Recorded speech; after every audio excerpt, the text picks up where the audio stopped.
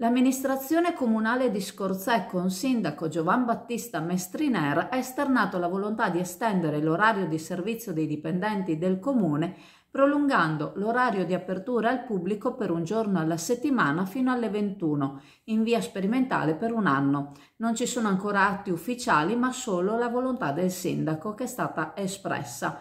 Non sono ancora stati chiariti quali siano i servizi e gli uffici coinvolti dall'apertura serale del municipio. Sono 60 i dipendenti del comune, dalla proposta sarebbero esclusi i servizi di polizia locale, la biblioteca, gli operai e lavoratrici e lavoratori con contratto part-time sarebbero toccate dal provvedimento le rimanenti 25 persone. Con nessuno tra loro è stata condivisa la proposta in modo da poter conciliare vita privata e lavorativa. Si tratta comunque di un giorno alla settimana.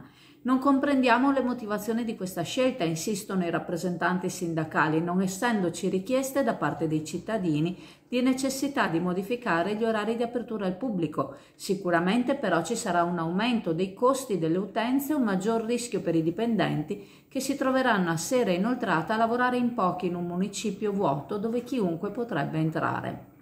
Anche i cittadini ne risentiranno perché non è detto che il dipendente che troveranno in servizio potrà gestire le pratiche degli altri colleghi. Il sindaco ha respinto tutte le proposte alternative, quale fare orario continuato con apertura fino alle 19, con un orario di apertura garantito superiore alla proposta presentata dal sindaco.